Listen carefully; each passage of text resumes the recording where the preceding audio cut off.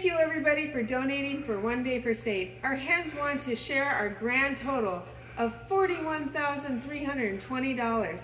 Thank you for adding to our nest egg.